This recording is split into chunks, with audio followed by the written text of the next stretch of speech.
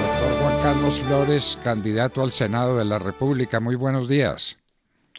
Doctor Fernando, buenos días. Un placer saludarle. Bueno, cuéntenos qué está sucediendo al interior de la coalición Centro Esperanza. Eh, las aguas están eh, turbulentas, doctor Fernando. Por supuesto, hay muchos eh, aspirantes de diversas tendencias y como usted bien sabe, una de las cosas más difíciles en política es lidiar con las personalidades, con las aspiraciones, intereses y ambiciones de cada uno de ellos. Mm, y seguramente esto se va a extender hasta el 13 de marzo cuando se decida cuál de todos los candidatos que aspiran por el Centro de Esperanza será el que la gente escoja para representarles en eh, las elecciones presidenciales, en la primera vuelta. Entonces, de aquí al 13 de marzo no se sabrá nada.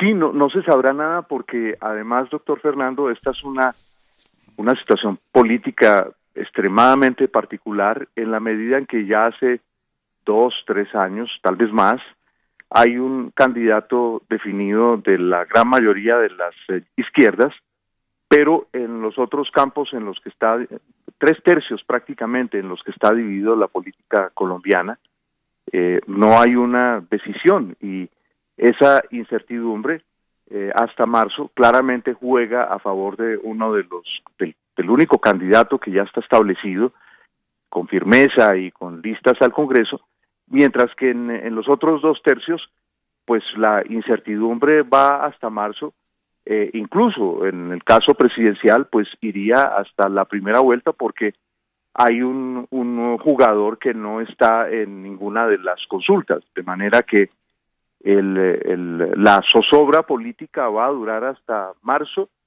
eh, en el caso pues de esas definiciones internas, pero hasta la primera vuelta, en la medida en que ya escogidos esos candidatos, hay uno por fuera de todas estas coaliciones y de todas estas consultas. ¿Qué es quién, doctor Flores? Que es el, el señor eh, exalcalde de Bucaramanga, el, el eh, ingeniero Hernández. Ya. Él no, él no figura en ninguna de estas consultas. No está en ninguna de estas consultas. De manera que eso introduce un elemento adicional.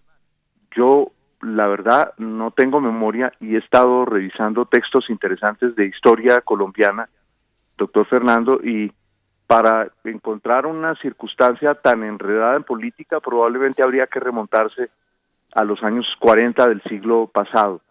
Eh, no, no encuentro otra de, esas eh, características porque después vino el Frente Nacional que eh, de alguna manera ordenó la competencia política, claro, trajo el grave daño de que los partidos dejaron de ser partidos inspiradores, perdieron las ideas y se llenaron de puestos y contratos, eh, de manera que es, es muy difícil a veces cuando está la situación tan confusa, como usted bien lo sabe, lo único que le queda a uno es alguna analogía histórica, en este caso pues de historia política, pero yo no la encuentro, doctor Fernando, o hablándole con total honestidad.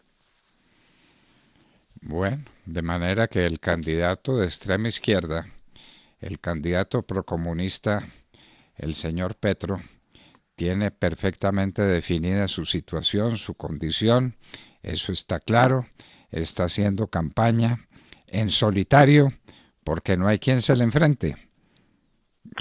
Sin duda, es una, una situación muy, muy, muy favorable para él porque las otras fuerzas, eh, eh, con unos mecanismos muy, muy dilatorios que no entienden la premura de los tiempos, estos son tiempos en los que todo se ha acelerado eh, a, una manera como nos es desconocida y que quizás solo pueda establecerse una analogía con el inicio de los tiempos modernos, doctor Fernando, que Usted sabe que la característica que sintieron los contemporáneos, los filósofos, Hegel, eh, los grandes escritores, Goethe, obviamente las cabezas políticas más audaces como Napoleón, sintieron que los tiempos se habían acelerado y que, por supuesto, también las grandes fortunas, ni más faltaba los Rothschild, todos esos comprendieron que los tiempos se habían acelerado y que había que actuar de una manera muy distinta.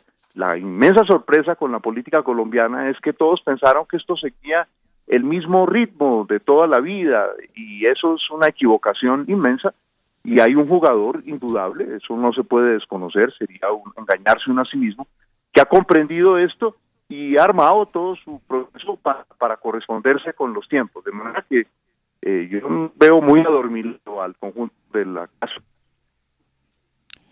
Una derecha entonces que no reacciona, que no se unifica, que no se define en ningún sentido. Eso es lo que tenemos, un estado de incertidumbre total. Sí, señor, con, insistiría, con unos jugadores, porque la derecha también puede vivir una sorpresa. Con, he escuchado en muchas regiones del país donde la gente dice, esto ya no es con lo que existió antes, esto es con el señor de Bucaramanga. Eso también lo he escuchado, doctor Fernando, de manera que las sorpresas no terminan en, que el senador Petro pues esté en campaña en solitario prácticamente durante tres años, más tal vez, sino en el hecho que mientras eh, la derecha deshoja margaritas, eh, el ingeniero Hernández, como le dice hoy buena parte de la clase política cuando lo menciona, me parece son muy interesante porque pues políticos ingenieros no teníamos desde desde mm, Barco y antes en los años 40 que como usted bien sabe hubo muchos políticos ingenieros en la historia colombiana e incluso hubo un dictador ingeniero. Doctor Flores, una, una pregunta respecto a su campaña al Senado. Me llama mucho la atención que usted ha dicho que se puede llegar al Congreso de la República a costo cero y ha recibido críticas de, muchos sectores. Hay gente que, que, se burla, que dice que eso es imposible, que en Colombia es imposible ganar sin el voto amarrado. Eh, ¿Cómo ha hecho usted su campaña con austeridad y cómo, cómo es que espera a través de ese voto de opinión llegar al Senado? Cuéntenos un poco acerca de eso, por favor. Eh, buenos días. Es verdad lo que usted dice, pues hay una, unas personas que dicen que eso es un imposible yo creo que ellos tienen razón hace 20 años, hace 10 años, pero con el surgimiento de la economía algorítmica, lo que llamamos economía digital, pues eh, hay una, una actualización de la forma de hacer política. Eh, eh, allí está el doctor Fernando, que es una persona conocedora como quien más de la historia política de Colombia, y ya en los años 30 se decía, sin telégrafo ni teléfono no se puede hacer política. Los que no comprendieron la fuerza del telégrafo y el teléfono, se quedaron por fuera de la política colombiana en aquellos años. De manera que hoy hay unas nuevas formas de relacionarse. Y a esas apelo yo, ya apelé en una campaña al Consejo en el año 2015, la primera campaña costo cero en la historia de Bogotá y en grandes ciudades, probablemente la primera en la historia del país, lo cual no es que eh, me caracterice a mí como una persona que ve el futuro, no, simplemente observo lo que ocurre en, en el presente. Pero hay más. Esa intención mía, y en la que me acompaña un candidato a la Cámara por Bogotá, Fernando Rojas Parra, tiene que ver con un hecho, y es la política colombiana se olvidó de la austeridad. La política colombiana, aunque a muchos contemporáneos y los jóvenes les parezca increíble, fue austera durante buena parte de su historia. Es decir, ¿qué quiero decir por austeridad? La gente no se metía a la política para hacerse rico la gente tenía un patrimonio que provenía de alguna profesión liberal, de alguna actividad económica, eh, de alguna actividad en el periodismo, que era una actividad muy recurrente de crear periódicos que, que eran a la vez que organismos eh, sociales y políticos, también eran organismos de independencia económica para muchas de las personas que los fundaron a lo largo y ancho de Colombia. No solamente en Bogotá, sino que había esos periódicos eh, regionales, La Patria en Manizales, El Universal en Cartagena, eh, el Diario del Pacífico, el país en el occidente, en fin, en todas las, en la vanguardia, en fin. Entonces, a lo que queremos apelar con esta campaña es a reivindicar la austeridad en política, a decir, no hay que derrochar miles de millones en una campaña, hay que volver a creer en la vocación de servicio, en que la gente está a la espera de ideas, de compromisos, de responsabilidades. Eh, doctor Flores, la gente que, que cree que esto es con dinero, ¿cómo lo utiliza? ¿Cuál es la técnica? Porque algunos no estamos muy entrenados en esa materia. ¿Cuál es la técnica para comprar unas elecciones? Pues la técnica es, es más o menos como se la voy a, describir, eh, doctor Fernando. Seguramente me faltarán ingredientes y, los expertos en lo que antes se llamaba el manual del manzanillo dirán, este no lo sabe todo, y lo reconozco porque no lo he ejercido, pero sí tengo muchos colegas que me cuentan sus afugias.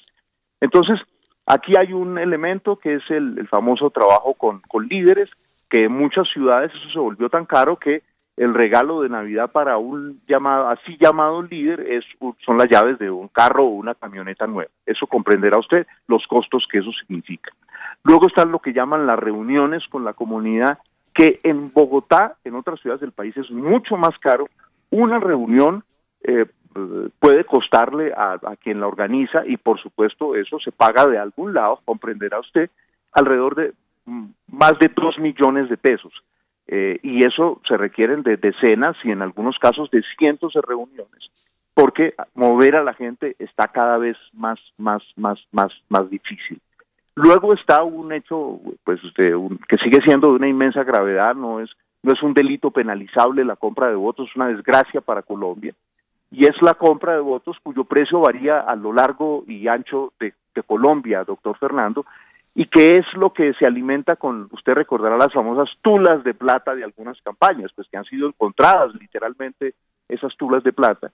Y eso se trabaja en alianza con los eh, contratistas, eh, no todos, por supuesto, hay contratistas pulquerrísimos, personas que tratan de evitar por cualquier lado el tener que entregar unas, unas, unas mordidas, pero ellas en algunas regiones del país ya no son el 10% que era, ellos consideraban lo tradicional, los contratistas, ¿no? Eso rebasa esa cifra y, y le piden a los contratistas 20 y en algunas horas del país el descaro es total, 30%, y esa plata va para el enriquecimiento, pero para la financiación de la política.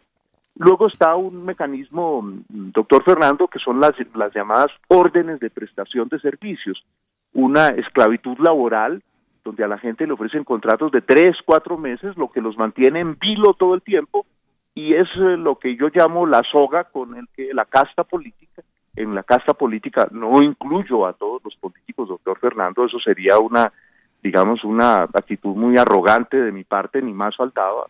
Todavía quedan políticos que tratan de hacer bien su trabajo, que no llegan para robar, pero lo que llamo la casta política, lo que mm, Álvaro Gómez llamaría el régimen, ¿sí? exactamente es el mismo concepto. Ese grupo pues eh, hace política y se financia de esa manera y esas órdenes de prestación de servicio que se cuestan se cuentan en millones, doctor Fernando, en todas las ciudades de Colombia y en los pueblos de Colombia son los que permiten mantener en vilo hasta el momento de las elecciones a los a los a, los, a muchos votantes eh, y le dan al político que está bien conectado un poder inmenso porque obviamente las reparte como si eso fuera proveniente de su propio bolsillo y la gente espera eso como el maná del cielo, pues porque no hay empleo en el país y en muchas zonas el Estado sigue siendo el gran empleado. Doctor Juan Carlos Flores, candidato al Senado de la República, muchísimas gracias por acompañarnos en la hora de la verdad. Doctor Fernando, como siempre usted muy querido, y solamente aprovecharme, aprovechar para hacer una pequeña cuñita, soy el número 11 por la coalición Centro Esperanza.